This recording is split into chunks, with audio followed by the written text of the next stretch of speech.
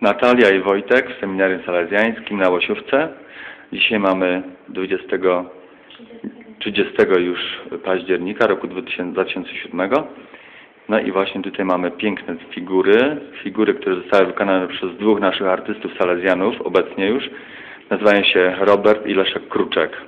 Także oni właśnie wykończyli, e, można powiedzieć, te dwie e, figury elegancko. Rzeczywiście widać, że talent wielki mają. Takie coś zrobić to naprawdę nie jest prosta rzecz, myślę. Proszę bardzo. Okej. Fajnie, nie? Okej. Czekaj, Tu troszeczkę światło odpadło nie tak jak trzeba. Okej, jest. Dobra. I tam jeszcze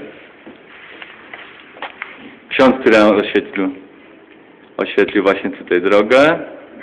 Nie, korytarz dokładnie. Ksiądz Stasiu Oskwarek.